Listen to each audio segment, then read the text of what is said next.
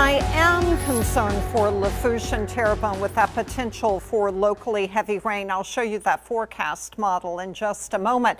But here is a look at Nicholas moving north northeast pretty quickly now, 12 miles per hour. The center reformed closer to some of that deeper convection. Dry air on the west side, some strong winds aloft as well. So it is definitely uh, east base system and also some of that heavier rain more on the northeast side. So let's look at that forecast track. Bringing it on shore early in the morning along the Texas coast kind of looks like it's near Palacios.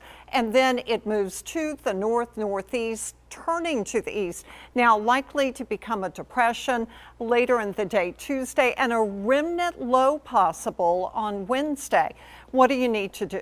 Well, we've got that potential for locally heavy rain and an isolated tornado. Go ahead, clean those storm drains, make sure no debris is anywhere near those drains so it won't flow into the street. And with that persistent onshore flow, you are going to have a rise right along the coast right now, not looking too bad, maybe one to two feet. Also be aware with the landfalling system, we're on the east side isolated tornado possible. So look at how that convection is really right along the coast now. We can look at the winds and at times well over 50 miles per hour. There's the counterclockwise flow. And notice we have that onshore flow about 16, 20 miles per hour.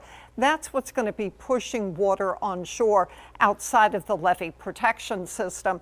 Seas pretty high just to the east of Corpus Christi. Certainly we have very warm water. So here's my concern. As it moves on shore, part of the circulation is going to be over that warm water, and that could kind of maintain the system for a while or certainly just help with that potential for locally heavy rain.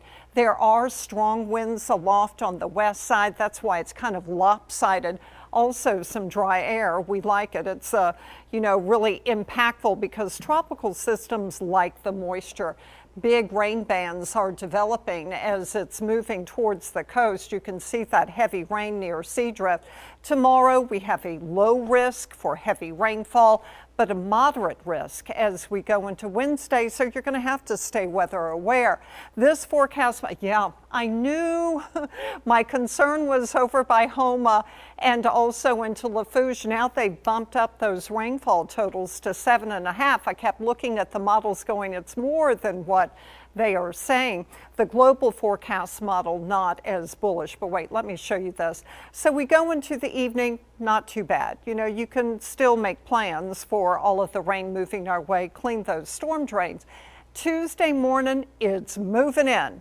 And now here we are. Look at this heavy rain falling over Terrebonne, Lafourche, the lower portion of Jefferson, up into Plaquemine, St. Bernard. That is heavy rain. So that's something we don't want to see. And then look up here Tuesday over uh, Tangipahoa moving into St. Tammany. That's heavy, very heavy right there over the lower portion of Plaquemines Parish. And then you have more rain moving in as you go. look at that for Tuesday and Wednesday.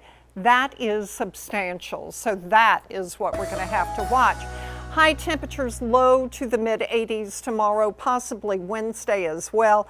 And then your rain chances kind of begin to come down as you're going to have Nicholas shooting off to the northeast. All right, Margaret, thank you.